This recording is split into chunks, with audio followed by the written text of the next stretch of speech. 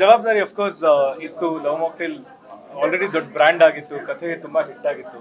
So ನನಗೆ ಜವಾಬ್ದಾರಿ ಬಂದಾಗ ಹೆದರಿಕೆ ಅನ್ನೋಕ್ಕಿಂತ ಜಾಸ್ತಿ ಎಕ್ಸೈಟ್ಮೆಂಟ್ ಇತ್ತು.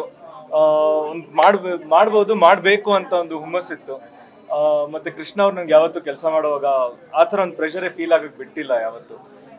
ಫಸ್ಟ್ ಹಿಟ್ ಆಗಿತ್ತು ಸೆಕೆಂಡ್ ಹಿಟ್ ಆಗಲೇಬೇಕು ಆ ಹಾಡು ಹಿಟ್ ಆಗಬೇಕು ಈ ಹಾಡು ಹಿಟ್ ಆಗಬೇಕು ಅಂತ ಯಾವತ್ತು ಒಂದಿನೂ ಹೇಳಲಿಲ್ಲ ಕಥೆಗೆ ಏನ್ ಬೇಕಾಗಿತ್ತು ಯಾವ ತರ ಬ್ಯಾಕ್ಗ್ರೌಂಡ್ ಸ್ಕೋರ್ ಬೇಕಿತ್ತು ಯಾವ ತರ ಹಾಡುಗಳು ಬೇಕಿತ್ತು ಆ ತರ ನಾವು ನಿಭಾಯಿಸ್ತಾ ಹೋದ್ವಿ. ಹೊತ್ತು ನಮ್ಗೆ ಯಾವತ್ತೂ ಒಂಥರ ಆ, ಲವ್ ಮಾಕ್ಟೆಲ್ ಒನ್ ಸಕ್ಸಸ್ ಒಂದು ಪ್ರೆಷರ್ ಅಂತ ನಮ್ಗೆ ಯಾವತ್ತೂ ಅನ್ಸಿಲ್ಲ.